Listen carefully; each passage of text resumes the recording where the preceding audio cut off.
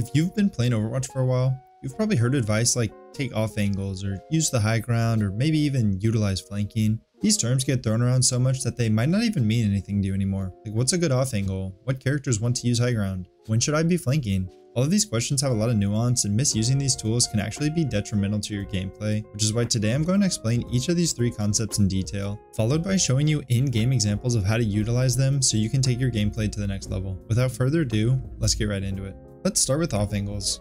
What someone means when they refer to an off angle is any angle that you play from that isn't with the main body of your team. Usually the main body of your team is centered around your tank, so anytime you're shooting at the enemy from a different position than your tank, you're on an off angle. Because of this, both high grounds and flanks can be considered an off angle, but an off angle is not always considered high ground or flank. Similar to how a square is always a rectangle, but a rectangle is not always a square. Okay, so now that you understand what an off angle is, let's talk about why they're so strong and why good players use them every game. The main advantage that off angles give you is the ability to split the enemy's attention. When you're playing in a different position than the rest of your team, there are now two threat areas that the enemy must pay attention to, the main body of your team and you. Because of this, they have to decide how to divert resources towards each and find good positioning to mitigate both points of threat. This is inherently more difficult than just playing against one position. Let's provide an example. You are playing Ana and your team is defending the point on Oasis Gardens. The enemy is pushing you from main and because they're all grouped up, it's very easy to use cover to avoid dying and defend from the point. But all of a sudden while their tank pushes down main, soldiers start shooting you from hookah. All of a sudden you can no longer contribute resources to the fight in main because if you don't respond to the soldier, you're going to die. You can either quickly start firing back, but he's already got the jump on you so that's not really your best option. You decide to get to cover, likely using at least one cooldown in the process. Even though Soldier probably didn't kill you from his off angle, he forced out your cooldowns and diverted your attention for a second or two, which could lead to your tank losing support in main and dying. Best case, your tank lives but has to use their mitigation cooldowns due to the sudden lack of support and loses their advantage in the fight. Worst case, you didn't have any cooldowns and cover was too far away and you get picked at the start of the fight, leading to a teamfight loss. This is the power of off angling. When you force the enemy to deal with multiple threats at once, they're much more prone to making mistakes that lead to you winning the fight. The longer you can hold an off angle, the better your odds are to win that fight. Usually, enemies will prioritize pressuring you out of your position because they know if they don't, they're going to lose. Because of that, a good off angle is one where you have reliable cover that you can duck behind and get healed before returning and applying more pressure. Okay, so now you know what an off angle is and why it's so strong. Let's talk about who likes to use them. I'm going to split the roster up into three categories. Heroes that love off angles, heroes who use them if they can afford to, and heroes who really don't care about them. You'll notice almost every single damage character in the game likes to use off angles, although some are better at it than others. Mid to long range hit scan like Ashe, Soldier, and Sojourn make the best use out of them, along with characters with high mobility or self-sustain like Echo, Tracer, and Pharah. DPS like Cassidy, Bastion, and Torb are a bit more situational. While off angling is still good, these characters have low mobility and self-sustain, so you have to make sure you have enough support to not die when you use that off angle. There are also DPS like Sym or Mei who like off angling when they can, but also they really like to bully the tank from main, so they won't always try and find an off angle. Most of the characters who don't care about off angling at all are tanks, especially the Brawly archetype, and support 2 aren't as focused on damage as they are supporting like Lifeweaver or Mercy. The last thing to cover before we move on to high ground is when and how to use off angles. And I say this for last because it's the trickiest. If you're playing a character who always benefits from off angling, then you would think you should just always be on an off angle, right? But as I mentioned before, playing away from your team comes with some downsides. It's easier to get isolated by the enemy, and it's harder for your teammates to support you. If you're trying to off angle and constantly getting dove by multiple players, sometimes it's better to just stick with your team. Honestly, it's very situational, and I encourage you to think about some scenarios in which you should or shouldn't take advantage of off angles. The when is the hardest part, and once you figure that out, the how is very easy. You just apply consistent pressure as much as possible and draw attention to yourself without dying. Even if 2 to 3 people turn to you and force you out, that means the rest of your team is in a temporary 4v3 or 4v2 and can take space and generally push the enemy around. If they don't look at you, then you can farm them for free and provide huge value every fight. I'll provide some real in-game examples at the end of this video to help out a little bit with what that looks like. If you want more personalized coaching revolving around this, you can find me doing free live VOD reviews every Sunday from 1 to 4 p.m. CST on my Twitch, which will be linked down in the description below. So at this point in the video, hopefully you're convinced that off angles are worth using, and it's time to move on to high ground.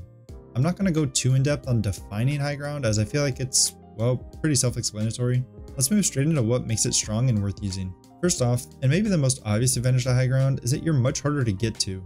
Instead of the enemy being able to just walk you down, they now have to either spend extra time taking the stairs or use a mobility cooldown just to get to your location.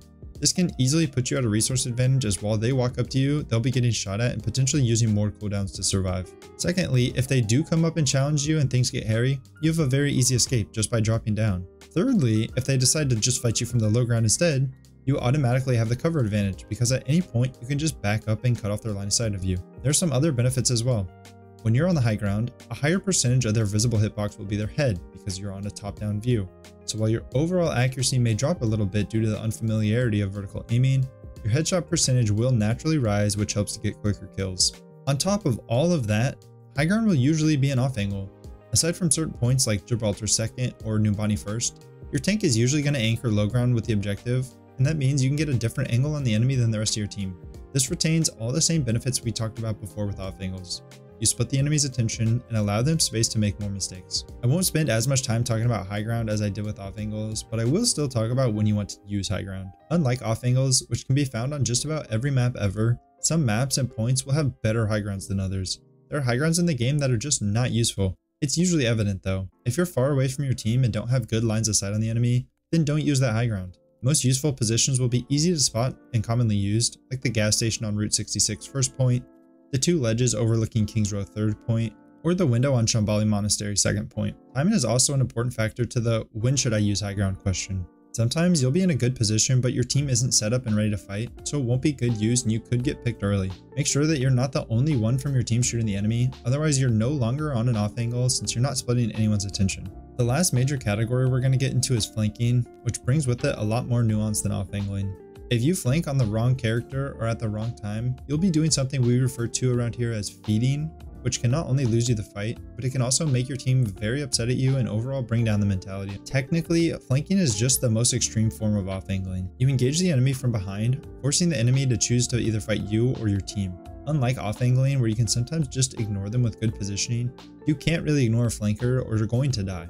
This means if you time your flank correctly, you can get value just by taking the player you are fighting out of the main brawl. If you're dueling an Ana as a tracer, every second you prolong that duel is a second where she isn't pumping heals into her tank. Every cooldown you extract from her is a cooldown that your team no longer has to deal with. This is one of the things that makes flanking such a strong tool to have in your arsenal. So, how exactly do you time a flank? How do you set up properly? Who should you be targeting? Well, slow down, I'm going to cover all those things, but first I want to talk about which characters should be flanking to begin with. I'm only going to include DPS this time, as although some supports and maybe a tank or two can make it work, it's almost always niche and not a regular occurrence for them. The best flankers are going to be characters with high mobility like Tracer, a reliable escape like Reaper, or hard to confirm but high burst damage like Pharah or Echo. Keep in mind that flanking will always work best the first time you do it, especially on characters who are not known for flanking. One of the biggest mistakes in low elo is being very predictable with your flanks. If the enemy knows you're behind them, they can easily turn around and isolate you in a 1v5, and at that point you're throwing your own game. However, if they don't know you're there, you can essentially get free kills once the fight starts because everyone's back is turned to you. I want to briefly make a few notes about some characters on this list. Pre-season 9, you may have heard the advice that Junkrat would be a good flanker, which was true then but is no longer the case now since he has no one-shot combo. Flanking to use RIP-Tire can sometimes net you a multi-kill, but good teams will often hunt down your body if you're behind them, so use this tactic wisely. With High Noon and Visor, I usually advise against flanking when you use them, but if you want to be flashy and pull it off, make sure you're tracking certain cooldowns and ults like Ana Sleep, Bap Lamp, D.Va Matrix, Lucio Beat, or anything else that could shut down your value. If you're behind them when they use these cooldowns, they'll likely be able to kill you for free along with denying value from your ult since your team won't be there to support you. Okay, easy stuff aside, let's get into the meat of the section. When to flank, how to set up, and who to target. Who to target's easy, so let's get that out of the way first. The priority list is something as follows. Low targets who we can quickly and safely secure kill on. Isolated targets with no teammates nearby. Immobile targets who can't get away from us, and if none of those exist, just go for a support. Let's do a couple quick quizzes to make sure you understand. We're on Dorado first point, and you've snuck behind the enemy on Sombra. Which enemy do you go for in this situation? The correct answer is Ashe, since she's isolated, despite the fact that she has mobility and Baptiste doesn't. Let's make it a bit harder. We're playing Tracer on Lijiang Control Center, and Lucio's 20 HP in the middle of their team. The Kiriko just Suzu'd their tank and teleported back to Junkrat, leaving her with no cooldowns. Who can we go for in this situation? It's a bit tricky since I didn't tell you what cooldowns we have.